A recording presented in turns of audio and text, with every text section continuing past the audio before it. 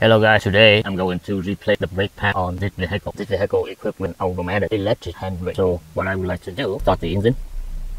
As you can see, the handbrake is applied right now. It's on right now. And as you can see, the reason why I start the engine, because you can see right here, the indicator on the automatic set uh, button right here is on. First, I would like to turn it off first. And then, go ahead and uh, turn it handbrake off. Okay, as you can see, right now the handbrake is, is off, but let me go inside here, go for uh, setting, and go for my car, and go down, let me see, yeah, you can see right here, parking brake and suspension, apply at engine, uh, stand still, okay, as you can see right here, we have to turn this off. Okay, once you have that off, you can turn off the engine. Yeah right now the engine on. No handbrake on guys because if you don't and uh, when you turn the engine off and the automatic handbrake engage after we remove the wheel check for the handbrake again by spinning the roller. That means right now we don't have the handbrake on the calipers. as you can see right here. The ABS sensor try to remove the wire. Yeah just about that and on the motor the connector uh, as you can see the yellow clip right here just pry it up and then it will disconnect it yeah we got it disconnected and remove the cover from the back of the motor actuator. By maybe a few clip like this around. So now we can able to remove the cover from the back of the motor actuator. Yeah, just put it by the side like that. So now we have to remove the motor actuator. As you can see, one bolt right here and one more bolt down here. I think it's uh, five millimeter. So now I have two bolts removed, and now just spin around and take the motor and actuator out. So on the brake caliper, you try the cap up and lower up. Yeah, I have two cap here. And this one, I think, seven millimeter.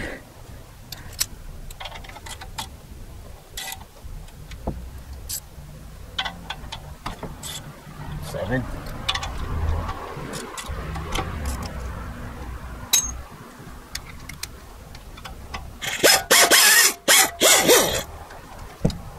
Up here. And another one stop. And on the side here, try to remove this.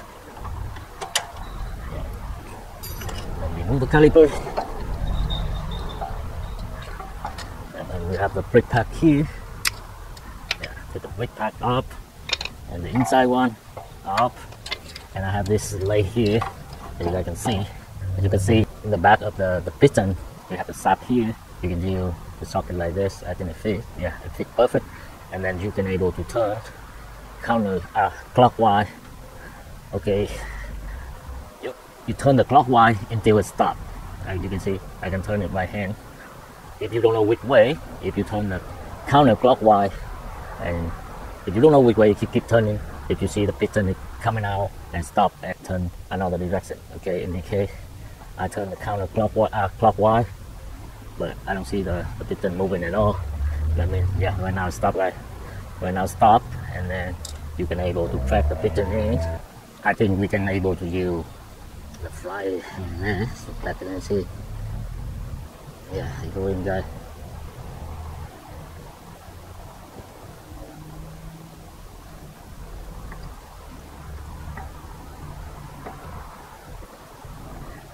Yeah, I think that's good for enough for with the new uh, brake pad on. After we have the new brake pads put on and the caliper put on, everything put on here, except the handbrake motor. As you can see now, the motor, uh, the caliper still move back and forth. And this step very important if you guys work for yourself, for your own vehicle at home. If you don't do this, when you apply the handbrake from inside the car, and the ECM will set the malfunction because might see uh, the time is for the motor running is too long or not even from the right side compared to the left side. And that's why you use the socket here. And remember when we retract we turn the clockwise and now we turn the counterclockwise.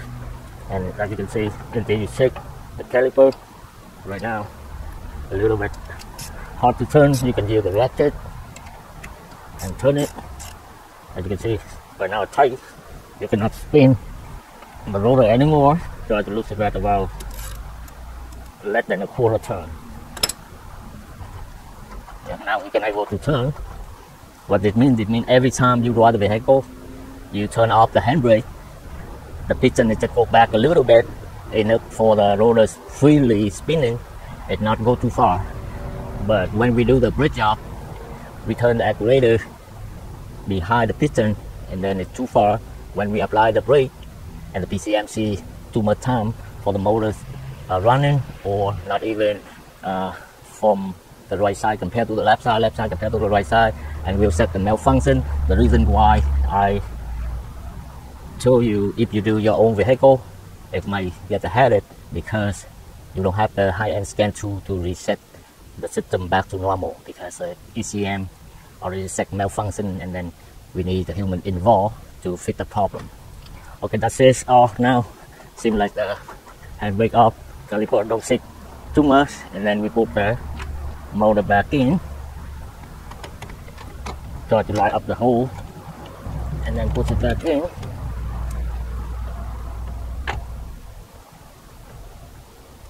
Yes, and uh, I will be back when everything here done, even uh, the wheel put on.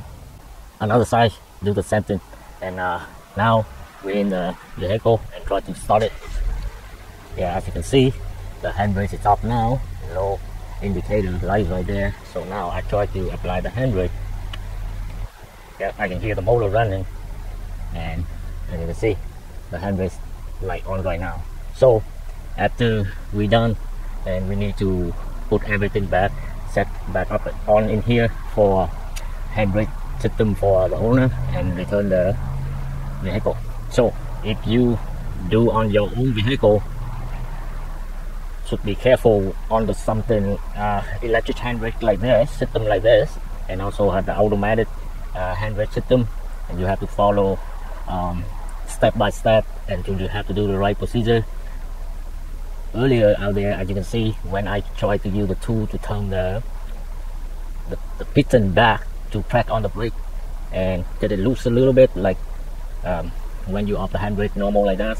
And then because if you don't you work on your own car at home and you might get the problem is when you apply the brake on the first time and the ECM see why the right side or left side motor running time is longer than the other side and will set the malfunction or my both side running uh, time is longer than normal when we apply the brake uh, handbrake and then you set the malfunction and you might get a headache with that because you don't have the high-end scan tool. That's it guys. If you do your own vehicle follow the video what I did uh, and uh, you might get the job done. All right thank you for watching. See you guys next time. Bye bye